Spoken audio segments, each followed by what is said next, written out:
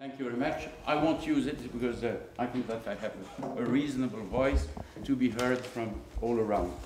First of all, I would like to thank the University of St. Gallen for inviting me uh, because uh, I have to recognize that when I was young, it was not exactly my cup of tea, and I would never study here because uh, uh, marketing, management, uh, business, and so on was not exactly what I was fond of and loving, and because I, you can see, I'm not very young, and I'm of course a byproduct of uh, May 68 in France. So I studied law in Paris and I had an active uh, position with my friends of the Maoist party and so on in Paris. So thank you for inviting me. Thank you for giving me the opportunity to come back, perhaps from a place where I would have to come one of these days. And I'm very happy to be here. I would like to thank, of course, Angelica for having found me in the middle of nowhere. And uh, I think it's important to be here. It's a great opportunity. And it's the first time that we are going to play uh, quatre mains au piano with Nicolas. So please uh, don't, don't be too exigent or exige too much from us. Uh, as uh, many entrepreneurs, I had no idea at all of what, what I wanted to do ending my universities. And uh, I took, of course, and I have to recognize the easiest way. I went to Sandoz at that time, and uh, I asked him, uh, I would like to go to a land of frontier, I would like to go to Asia, I would like to go to China, I would like to go in any country like this. At that time, I was speaking a, a reasonable French, uh, uh English, and uh, finally they offered me Brazil. And Brazil, why not? Brazil was, of course, something quite uh, different. It was a huge country, it was a even for the company at that time, it was a huge challenge. And for me, it has been really a great opportunity to work there during uh, three years at uh, Sandoz in Sao Paulo, to know the country, and of course, to fall in love with the country, to fall in love with the people, to fall in love with the culture. And I basically decided to stay. I'm of course, I have in my blood this entrepreneurship, uh, which coming from my great-grandfather, who founded Sandoz. I like nature, and I like challenges. So I decided to buy a Jeep, and I went around in Brazil looking for a place where I could probably realize something which could be interesting for not only me, of course, but also for the people who are living there one of the most uh, complicated regions that you can find in Brazil was the Northeast. is still one of the clue of the future of Brazil because actually they are in a very complicated situation. And uh, I decided to buy a farm uh, in... Uh, you see, well, I decided to buy a farm in the Northeast, in the semi-arid region which is, uh, of course, also another challenge, not only because uh, it's poor, but also near of Patos. So you can see uh, this is the most interesting point of uh, the, the Latin American continent, because the first ray of sun is happening there. So it's easy to find on the map because it's very important. So Patos is really in the middle of nowhere. It's a very dry region is a very big challenge and was for me, of course, something very important. I had to learn, first of all, humility. Humility is, without any doubt, something very important. And you have to hear, of course, I, I spent almost one year trying to understand the place where I was, trying to uh, really cave all everything to understand what was uh, my challenge in front of me. And I understood that I could be really a bridge a bridge in technology between Europe and uh, Switzerland and uh, the northeast of Brazil. A bridge also and a solution probably for using better all what we had, soil, water, and of course uh, to try to help people to have an access to work, uh, have an access to decent conditions of life. Uh, tough challenge, no doubt, uh, but it was uh, really successful and I looked at the capacity and the possibility to go organic, And uh, going organic, of course, we are giving more value to our products. Uh, we went to, uh, we, we tried to integrate new farmers, principally with mangoes, and I'm going to give you some photos of the place. This is the famous uh, Fazenda Tamanduá. It's not always like this, of course, during rainy season, and you can see all the dams, which are definitively our salvation, and we have to use this water, of course, of the best way. Drought is, of course, part of the, of the game, uh, and we have seen that uh, climate change is each day more complicated. The cycles of drought always existed, and today we have really uh, cycles each year more complicated. Here you can see the mango tree, which is one of our biggest activities. The mango trees, we are actually definitively uh, biodynamic certified with the, Demeter seal and uh, selling basically fresh fruits uh, to Europe and also the famous uh, pulp actually is sold in the United States. This you can see the contrast of course of using water with the best way. You have uh, the dry the scenario up there and in front of you melons and watermelons grown of course within organic processes and which is one of the big products. We are also breeding bees that you can see which are working for us and uh, pollinating all our products during the season. One of the things which is important is of course to try to find crops and to find solution for this region. Uh, it was amazing to see that uh, pomegranate was not explored in a systematic manner and uh, we decided to grow pomegranate. And in this process of biodynamic, where you have uh, the interaction between the animal and the agriculture, we are breeding also uh, sheep and uh, producing lambs for meat, also organic in the region. So you have this integration of the animal, which is definitely a solution for things. You can see that we have, of course, with the best cows in the in, in of the world, the famous brown Swiss, and the brown Swiss is very happy there. They have horns because uh, for the biodynamic processes, horns is part of the game because it's a kind of antenna to receive the strength of the, the cosmos. Uh, so you can see exactly the, all the mango. This is the season mango, three months.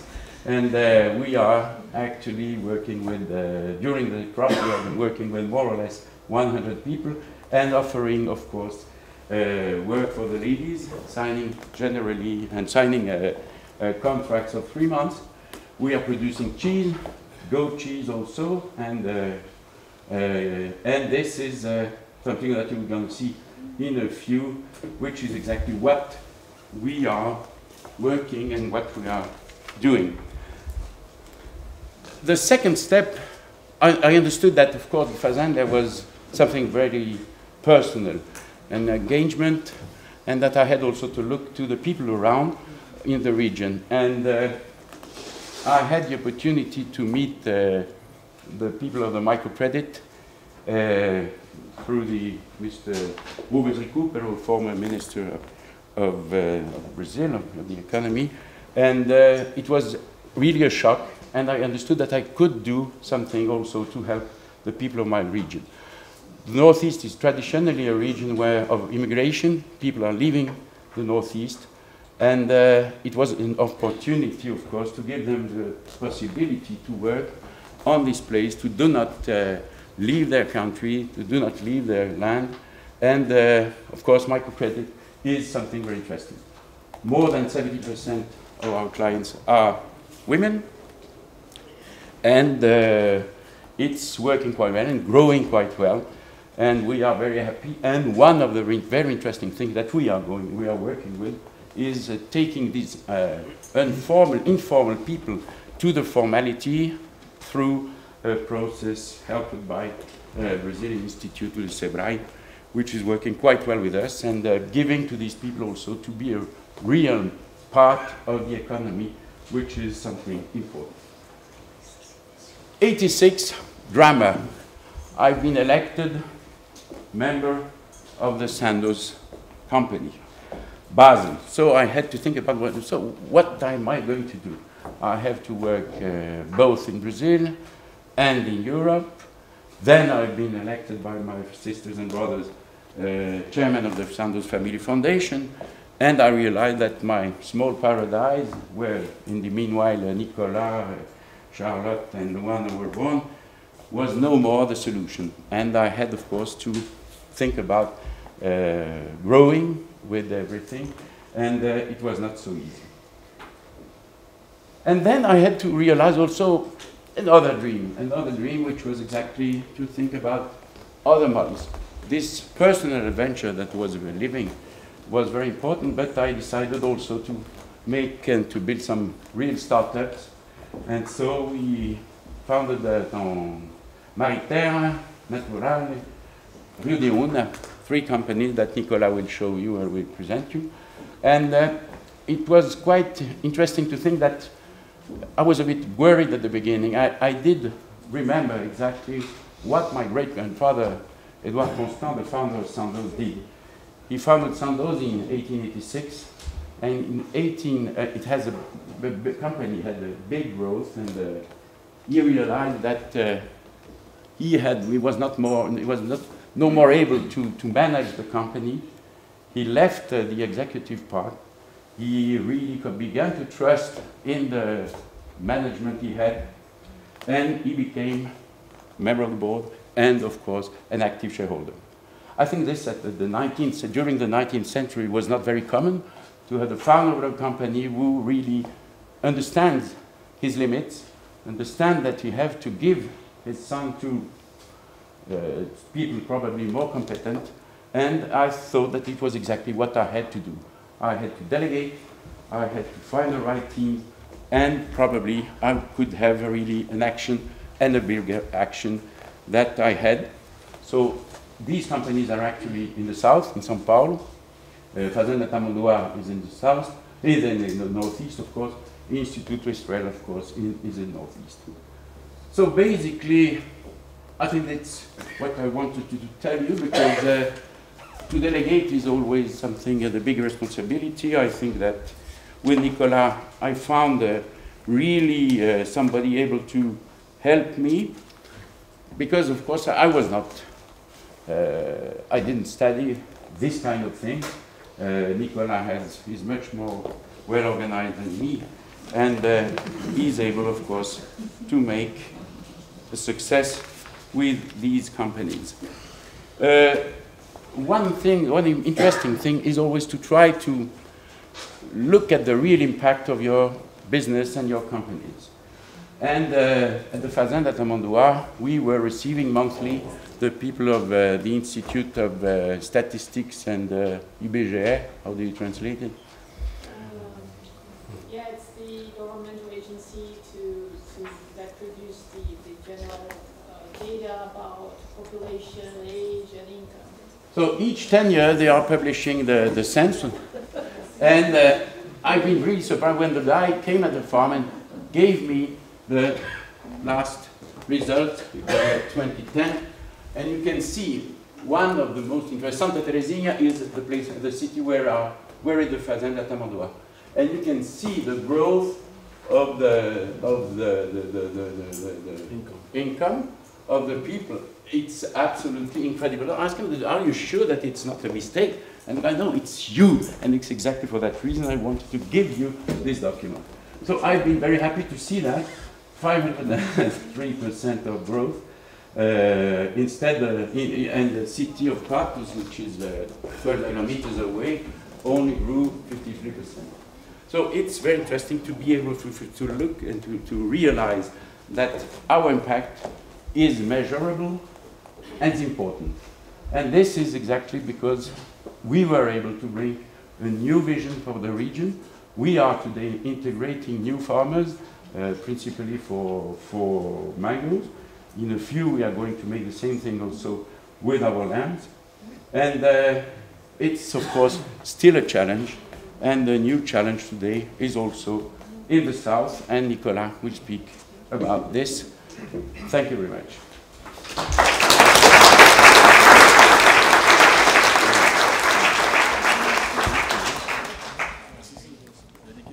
good afternoon and thanks a lot for the opportunity of speaking today. Thanks a lot to Angelica and the St. Gallen University. I would like to say that it would have been a university that I would have picked, maybe not his, but definitely, yeah, I did not know St. Gallen then. I, I chose an, another university, but with the same idea and the same.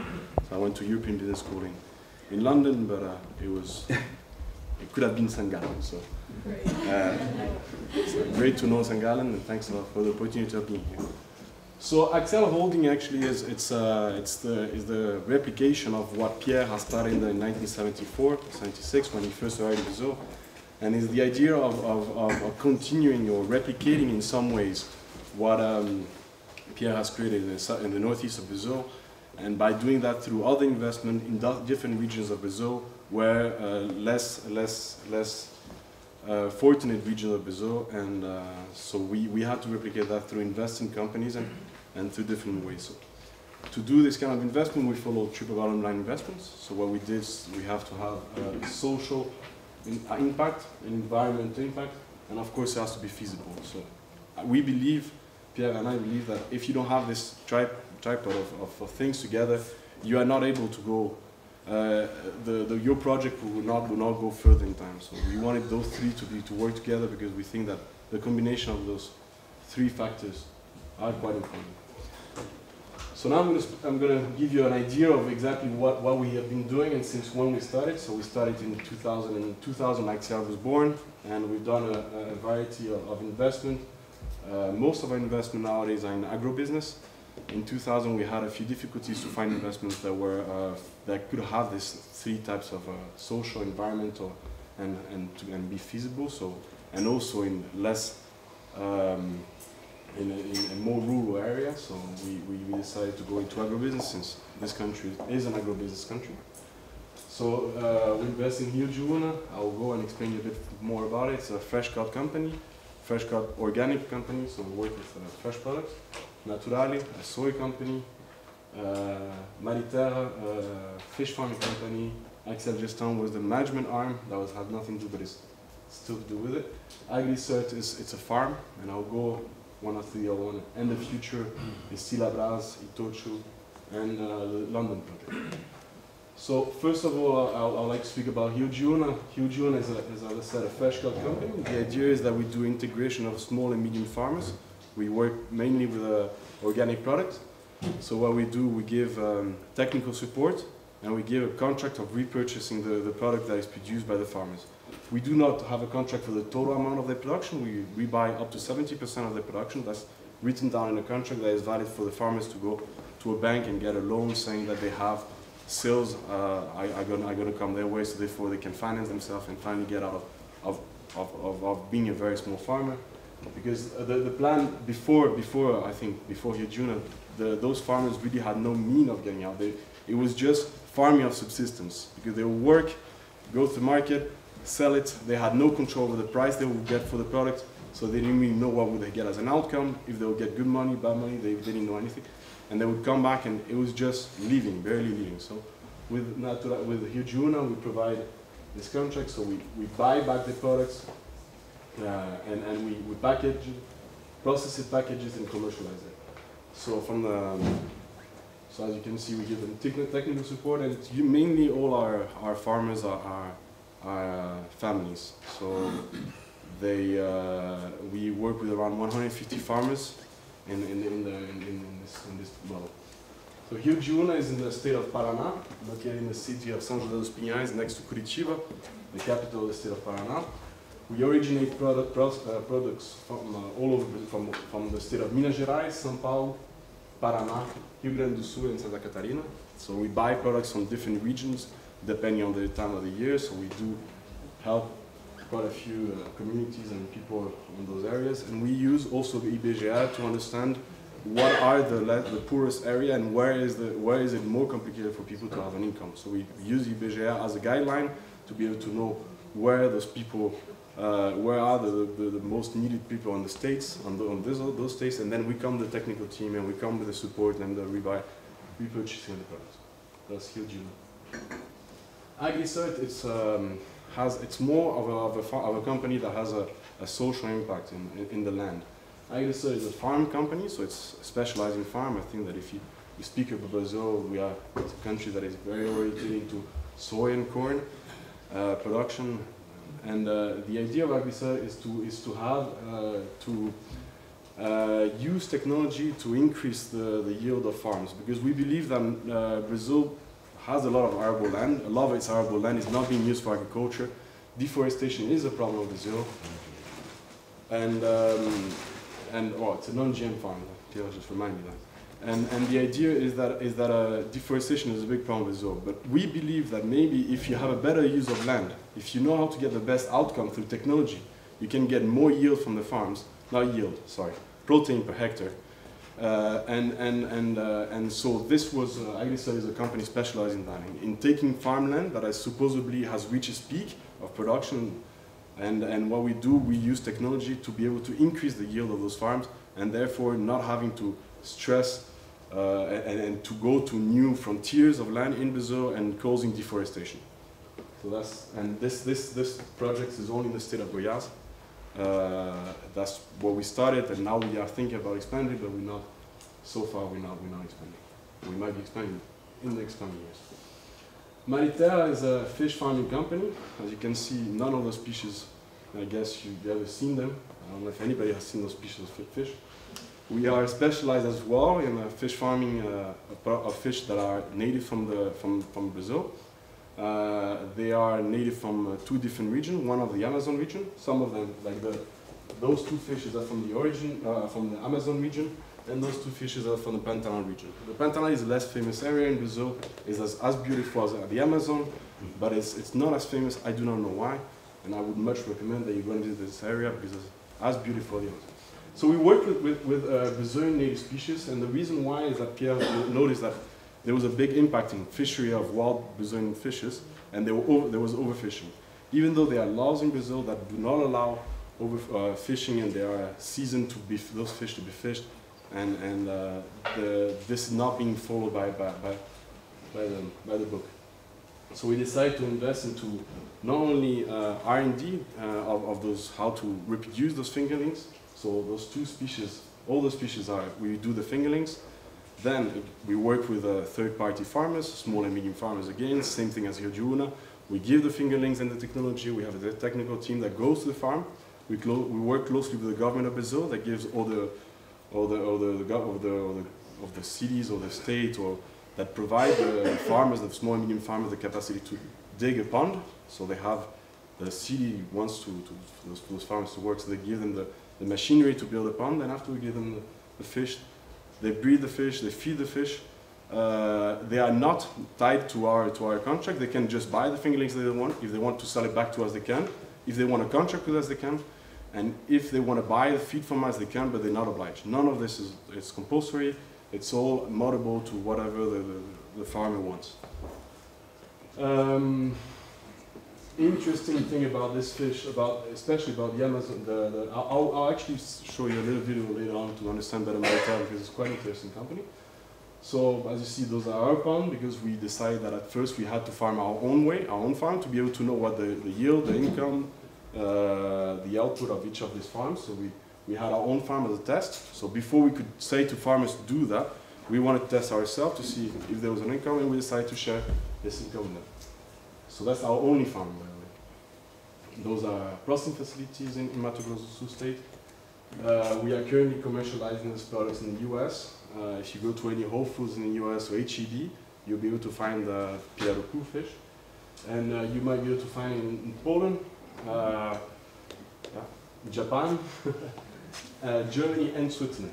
Uh, of course, we are based in Brazil, so I was telling you some of the, the, the, fishes that were on this side are farmed in this area, area which is uh, the legal Amazon. So the legal Amazon of Brazil is here. Even though this is the Amazon state, the legal Amazon of Brazil is here. We farm fish in all those states depending on, the, on the, the species that we farm. And uh, we have two processing facilities, one in the state of São Paulo and one in the state of, of, uh, of uh, Mato Grosso do Sul. One more invested company is uh, Naturale.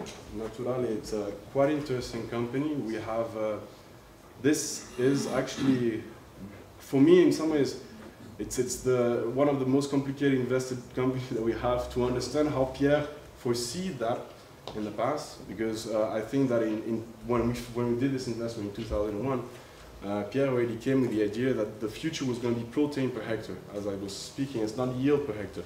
All farmers are orientated nowadays, all research, Monsanto and, and all those uh, research companies, are, are seed companies, are, are, are all going towards one direction. They've always been going towards one direction, which is yield per hectare. So it's how many bags of soy that I can get per hectare, increasing the, the income of farmers. And actually what we found out is that it's not this way, this is not the way to go. And I think that what the customer wants is the most important thing. Of course, all the time, the customer. And uh, we understood the customer is not buying soy, he's buying protein, he's buying soy protein. So Naturale started in 2001 uh, researching and developing wide yield, high pro uh, soy, uh, non-GM for the Asian market. took us a very long time to break through the Asian market. As you can see, this is our research. This is our research plan in, in the Northeast. So each little square that you have here is a, it's a breeding stages of, of, of soy. We have over 80,000 different families of soy that we breed together depending to the specification and demand of our customer. So it's, it's a completely different concept from what we had known. It's not bulk, it's not in big amounts. It is, uh, it is tailor-made, it's tailor-made soy. So if you want to give you an idea, nowadays soy varies, the protein of soy varies between 27 to 32% of, of, of protein. Our are not a single species of our soy is under 42% of protein and we work until 52% of protein per hectare. Of course, there's a downside to it, which is we have a lower yield, but then there is still, there is still, we have actually, if you do the calculation between yield versus protein, we still are 10% above, above um, non-GM crops that the region. So Naturale is uh, commercializing, was well, focused in Southeast Asia, but we have been, we have sold, uh, uh, we, we have some customers in Spain, Leche Pascual, if you drink, drink any Leche Pascual, you are drinking Naturale soy, Portugal, uh, some feed companies in, in Norway and Sweden. Um, no, sorry. And in Brazil, we are, we now originate soy from all over Brazil. There's just one mistake on this map. I know noticed Brasilia is not a stable producer. but anyways, so we, we are we are we are working depending on on on, uh, on what type of, of products we are we work with. We work in the different different different states. Pardon? Mapito. We do not work. Pierre me one more time. We do not work again in the Mapitoba, which is this region. We do work in Ba, but we do not work in Mapito. We do not farm in any region that is to explain what is Oh yes, sorry. Mapitoba is the new frontiers. Brazil is uh, going through a, a lot of it's a very hot topic, and people, a lot of people are investing into the in the Tocantins. Uh, uh, okay, in the Amazon region. in the Amazon region. So this, the north of the state of Mato Grosso, we do not work with it because this is the Amazon region. Even though it's considered in the books as, as a, a cerrado, it is not a cerrado. If you've been there and, you, and you've, been, you've been in this region, the cerrado is actually, when I've been there, I saw there were big trees and that's not, that's the Amazon for me. But um, as it's considered cerrado, you can cut down up to 70% of it. So actually you, you, you do have a great impact on the environment and we do not work, so all our, we work with origination of soy, so as we have a foot in the origination of the soy, we do not buy soy that are coming from origins, that's personal, that's not, a, that's not for the customer, the customer doesn't buy that. We just do it because we think that we have responsibility and we should not originate soy from regions that do or will cause stress on the Amazon region. So this is just a quick graph to understand and to explain you how many jobs that are created. So we are, we are directly creating around 500 jobs. A simple rule of thumb of 3 to 1 for indirect jobs. Uh, this is also just, well, it's quite interesting. Uh, we, we, we spoke with the Gebana, uh, Gebana early on, mentioned and spoke about it. We were, um, it's, uh, it's a, a bit of a J curve, so you can imagine this line has been flat for quite a long time. So this explains that uh, it, it's, it's long-term term investment. You, you, you won't have result uh, fast. You have to wait. You have to be patient. You have to believe in what you are doing, and you will be able to, to harvest the fruits. But be patient. Uh, we had had a, a first curve, which was uh, our first curve was in 2003 when we had our first returns, and as you can imagine, as you can see, this year we are we are going to reach around 1.8 billion reais of sales, which is quite interesting. So it took us way longer than expected. We had to have an investor that has and sees in the long run, because that is 14 years, so that's very very long. Nobody wanted to invest in something like this, but if the idea is right and the the, the business idea is right and you believe in it and you go and you push it all the way, you can see that. So also just as a fast, just numbers, there are around 300 families that are directly involved with the Naturale, with the Axial. Uh, all our investments have reserves that are at least twice bigger than the legal size of the reserves that are, that are, that are required by the law of Brazil. All our outputs, of course, are managed so that we do not have an impact on the environment. Wildlife is, is protected. This is not just a, a story. If you want, you can find it. This is in a book. So what we do is that we did um, we do uh, one, one all, all, all the reserve that we have. We have uh, we do a sensor of all the wildlife that is that is when we started the work, and we do a sensor after, and we see what had the, what, what this what was the impact of of our work. So this is a book special uh, only on the wild on the wild birds of the farm of the Fazenda of Guerre, but we do that with the Life Institute in the in our farms, and then you can see. Well, so now I'd just like to show you a fast video of Mariterra. So you, it's one of the invested companies, so you can have an idea why is the social impact that Axial has. First, inspect uh, about impact investing. It may be a buzzword today, but it's important. It's necessary. Our planet needs it. We can't launch ideas, projects, and enterprises just to make money. There has to be a higher purpose, a higher dimension. This coming generation has key challenges to solve around water, around food, around energy, education, around access to finance to a larger group, to name a few of them. When I started, none of this was understood. There was no debate, no public conscience, but today we know it. Second, as I told you the story of my great-grandfather, professional management. As an owner, and it's always not easy or simple, you have to put the most capable person in charge of your affairs. It may be a family member, it may be not. This is my great-grandfather understood it very well, ahead of his time, and contributed to our prosperity. Third, you may not have the success that you deserve because you run ahead of your time, because you push an idea important to you that the market may talk about but does not yet embrace. Its time has not come. It is frustrating, it is painful, and you may not even be able to recoup all your investment. This is the curse of the pioneer, of the too enthusiast. Some of my, some of my, some of my ventures ahead of the, ahead of the time took, uh, and took very long time indeed, but are still alive, and today we are uh, really realizing that we were right. And the fourth, and the most also the most important, important element is passion. You need to have it to take to the hits and lows that comes your way to keep moving. But more importantly, this is what drives other people to join you and take real part in your ventures. Thank you very much. That's all.